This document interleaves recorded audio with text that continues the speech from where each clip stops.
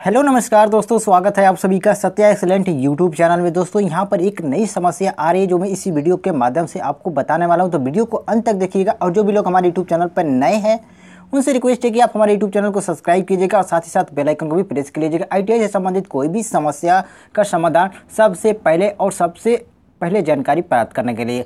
तो यहाँ पर दोस्तों एक नई समस्या आ रही है कि जिन लोगों का रिज़ल्ट हो आया है अर्थात सारे स्टेट का तो, तो नहीं आया है लेकिन कुछ स्टेट का जारी हुआ है रिज़ल्ट लेकिन वहाँ पर एक बहुत बड़ी समस्या आ रही है। समस्या क्या आ रही है दोस्तों मैं वीडियो के माध्यम से बताने वाला हूँ तो वीडियो का आप अंत तक देखिएगा। हो सकता है आपका भी रिज़ल्ट आए तो कुछ ऐसा प्रॉब्लम फेस करने की आए। तो यहाँ पर दोस्तों क्या सबसे बड़ी प्रॉब्लम आ रही है कि कुछ लोगों का ईडी मतलब समझ रहे हैं ना?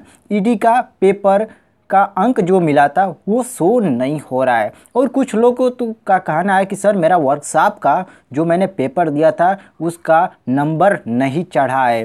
तो मैंने कहा कि, दोस्तों, हो सकता है आपने पेपर नहीं दिया होगा ठीक है? ये हो सकता है कि आपने पेपर नहीं दिया होगा, आप भूल सकते हैं। लेकिन उन्होंने कहा कि, सर, मैंने पेपर दिया था, लेकिन ये जो आपकी प्रॉब्लम आ रही है, हमारी जो प्रॉब्लम आ रही है, ये रिज़ल्ट आया तब मैंने अचानक नहीं देखा। उस समय मैंने आपको अपना अंक देखा और वहाँ पर छोड़ दिया। लेकिन बाद में जब देखा तो वहाँ पर ईडी का नंबर नहीं चढ़ा था और एक लोगों का व्हाट्सएप कैलकुलेशन का नंबर नहीं चढ़ा था। तो इस बात को ध्यान रखिएगा। यदि आपके साथ भी ऐसा प्रॉब्लम हो रहा है तो आप क्या करेंगे? इसके लिए एक समाधान है। क्या समाधान है? पहले तो ये समाधान है कि आप जिस संस्था से, ठीक है आई किए, पहले उस संस्था पर संपर्क कीजिए।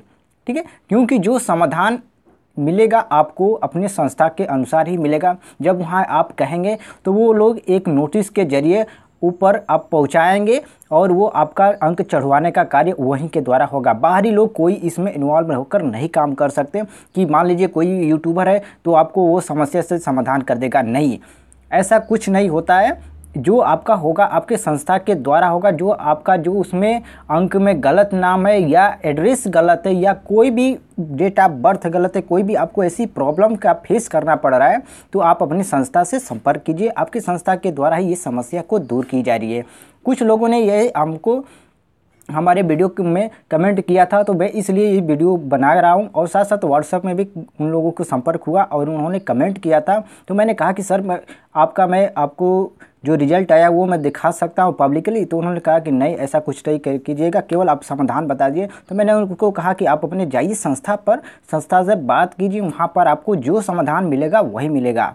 ठीक है? तो मैं सोचा कि क्यों ना एक वीडियो के माध्यम से आप सभी को यहाँ पर बता दिया जाए कि हो सकता है, आपके भी रिज़ल्ट आए तो कुछ ऐसी प्रॉब्लम फेस करना पड़े। तो भाई, आपको ये अगर ऐसा प्रॉब्लम आ रही होगी ठीक है? अभी तो रिज़ल्ट कुछ स्टेट का जारी नहीं किया गया, लेकिन कुछ स्टेट का जारी कर दिया गया, आप सभी को मालूम है। ठीक है?